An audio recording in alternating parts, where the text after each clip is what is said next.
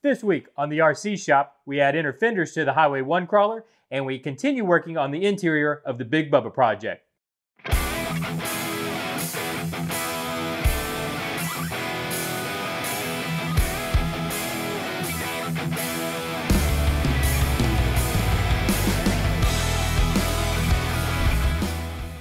With the Highway 1 crawler, guys, it's time we get to work underneath the hood. I've removed the hood for easier access, and now it needs inner fenders. I have a set from RC 4-wheel drive that need trimmed and fitted.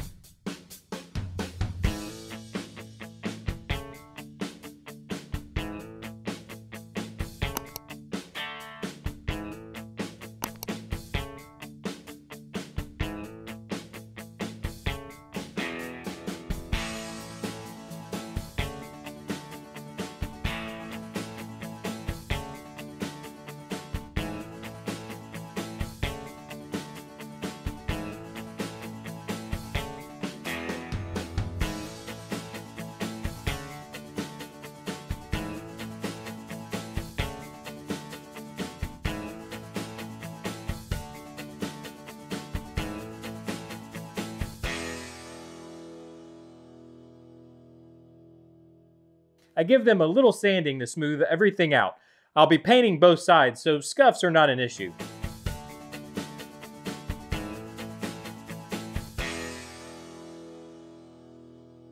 When it came to mounting the inner fenders, I didn't realize the Marlin Crawler shock towers are taller than the ones on a stock TF2.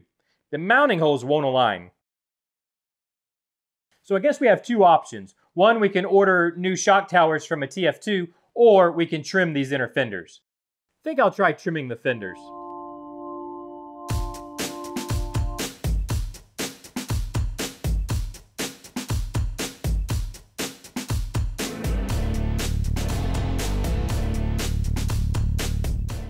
Took some trial and error, but I think I've got it to work. I went ahead and mounted up the body to check fitment with the outer fenders. And as you can see here, trimming for the shock tower has deformed the inner fender just enough not to fit. I think I can fix this with some styrene. Yep, one strap of styrene did the trick. I'm gonna give it a good sanding, paint it black, reinstall it, and we'll see how it looks. I think that looks pretty good. A second fender well, a firewall, and will be good enough to go ahead and mount the ESC.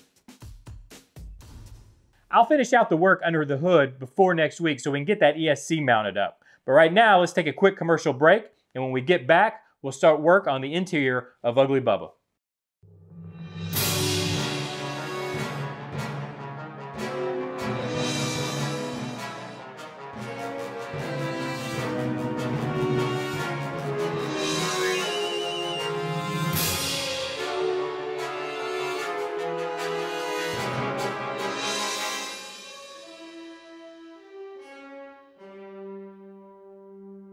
Now available in the online store.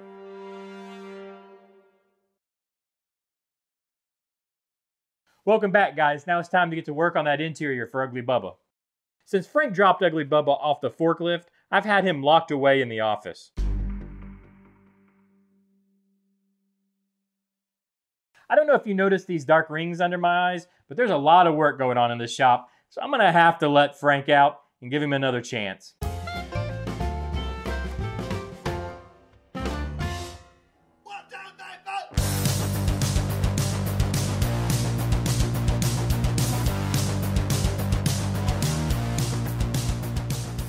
I'm gonna regret this, but all right, Frank, see what you can do with Ugly Bubba's interior.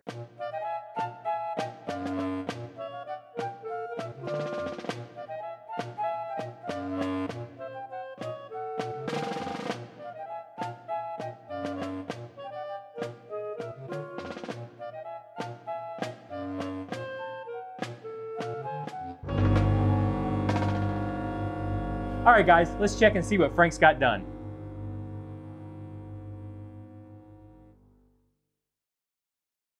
Five hours of work for that. This, this is really my fault.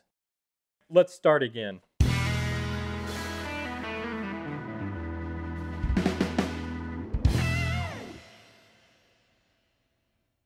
All right, after removing what Frank had done, now we can get a fresh start. And start by securing the seat riser to the back wall. I really don't want to drill into this Pimpin Crawler's chassis, so what I think I'm going to do is try to tie everything into the back wall.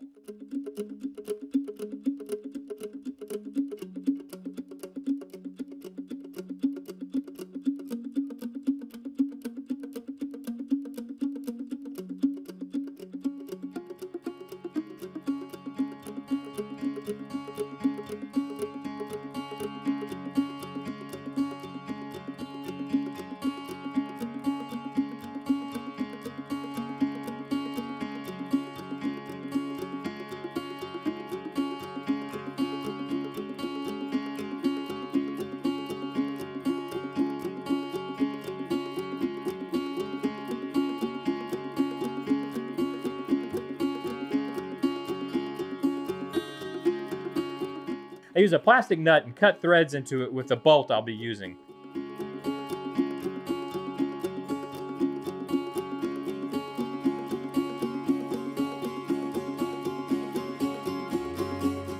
I use a plastic nut so I can permanently attach it inside the riser using plastic weld.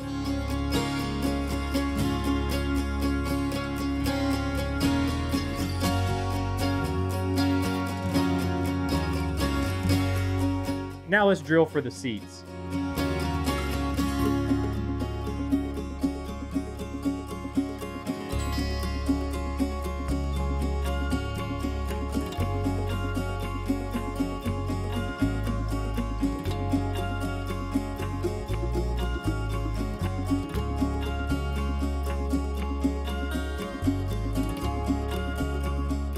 I'll glue a couple of strips to raise the seats just a hair more.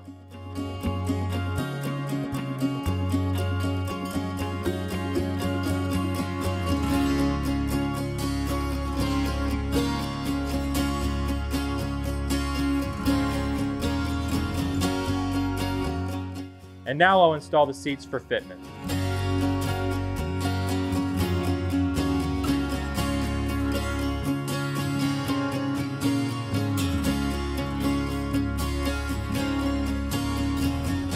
All right, I think we're finally starting to make some headway here. So I loosely reinstalled the interior so we can start figuring out this center tunnel.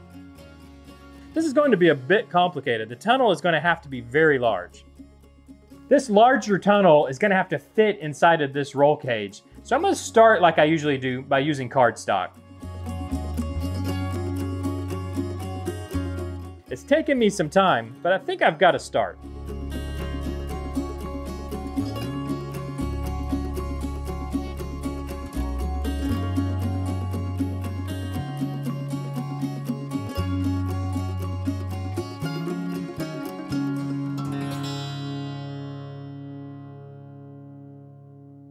This roll cage is really giving me some trouble, guys. So give me just a second. I'm gonna try to put something together real quick. For now, hey, Frank, can you entertain the audience?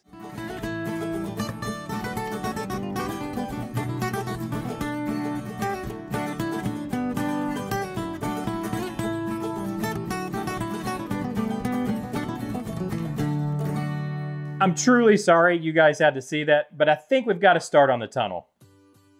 I know this doesn't look like much so far, but I worked at this a couple hours.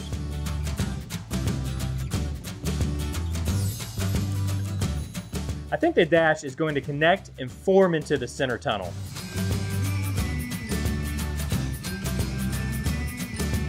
All right, guys, so I've run out of time for this week. This chassis has really been difficult. The problem being that you can't just make a large structure because it won't fit into the chassis. I'm having to figure out ways that this can be assembled in pieces inside the chassis. I'm gonna really work at that this week.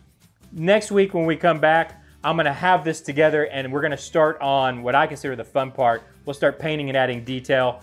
I'm gonna need some time to really sit down with this chassis and with this interior and figure this out. But I appreciate you guys joining me this week. Hit that subscription button if you'd like to keep up. Hit that like button, it really helps the channel. Leave me some comments down below. Maybe you have an idea of how to get this interior to fit into Ugly Bubba's chassis. Leave me that comment down below.